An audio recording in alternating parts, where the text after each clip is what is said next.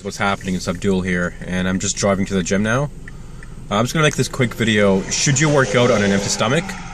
Uh, what I would say is, here's the thing: if you have the energy, if you have the motivation, the will to go up in the morning, empty stomach, and get a kick-ass workout, that's good. That's completely fun. You're not gonna lose any muscle, even though a lot of people claim that you need to eat first before you do any workouts, otherwise you're gonna burn muscle. This is all bullshit, guys. You're not gonna lose muscle overnight, okay?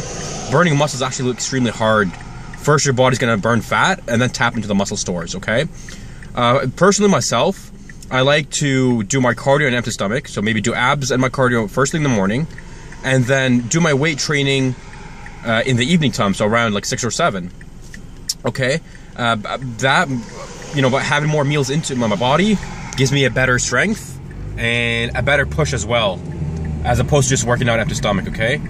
Uh, now again, it's not bad, but you really gotta find out what works best for you, okay? For me, I found out my workouts were not that great. I was not able to push uh, a lot of weight doing that, okay? So I really hope this video helps, guys. Uh, please subscribe to my channel, like my Facebook, Instagram, and Twitter. And as always, guys, more stuff coming soon. Take care, guys.